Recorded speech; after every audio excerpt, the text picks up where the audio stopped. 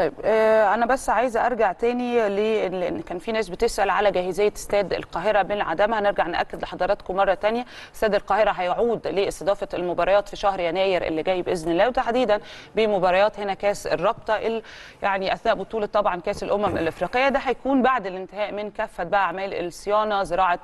اللي هي اسمها بذور الشتويه الموسميه الحاجات اللي زي كده بتكون مهمه جدا طبعا اعمال الصيانه دي من جانب تاني استقرت برضو رابطه الانديه المحترفه على انطلاق مباريات بطوله كاس الرابطه هتبقى يوم 7 يناير اللي جاي باذن الله يعني بيتم برضو تحديد مواعيد المباريات والاعلان عنها بشكل رسمي عشان ناس كتير كانت بتقول لك خلاص بقى كفايه كده استاد القاهره هنعود للعب عليه مره ثانيه امتى ناس كتير بتتفائل اهلاويه اللي بتكلم باستاد القاهره كولر بيعشق استاد القاهره لما بيلعب على استاد اخر سواء بقى برج العرب او المقاولون او غيره بيقول لك برضو مش نفس الراحه مش نفس الاداء مش نفس النتائج يعني ما تفهمش بس طبعا استاد القاهره القاهره برضو مختلف بشكل كبير يا كريم طبعا